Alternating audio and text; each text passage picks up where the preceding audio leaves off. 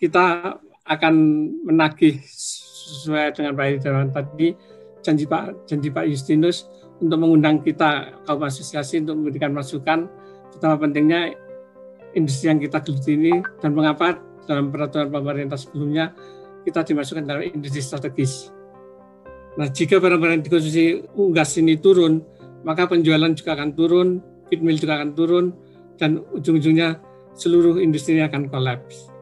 Saya sepakat dan mencukuri Pak Justin tadi memberikan celah atau pintu ruang bagi asosiasi-asosiasi terkait khususnya peternakan maupun industri pakan ternak untuk menunjang pemerintah dalam penyediaan protein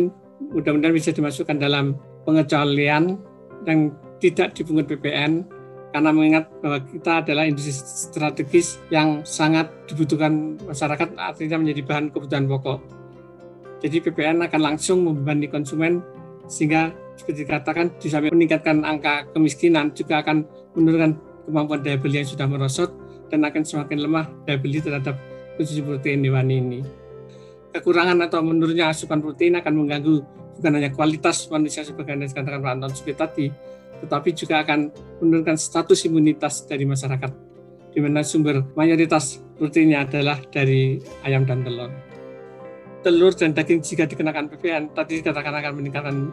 meningkatkan angka kemiskinan, samping itu juga akan meningkatkan inflasi karena adanya double pajak.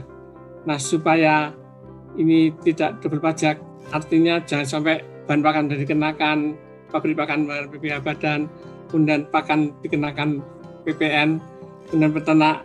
menjual dikenakan PPN kepada konsumen, maka akan membebani secara double, double pajak akan terjadi pada produk yang sama di hulunya kena, di hilirnya juga kena.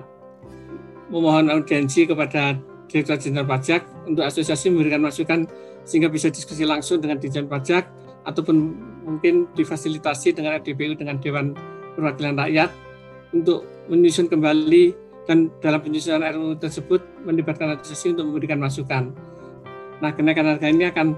menjadi beban bagi konsumen sehingga konsumen akan lebih lemah dan menurunkan daya beli pada masyarakat yang notabene bahwa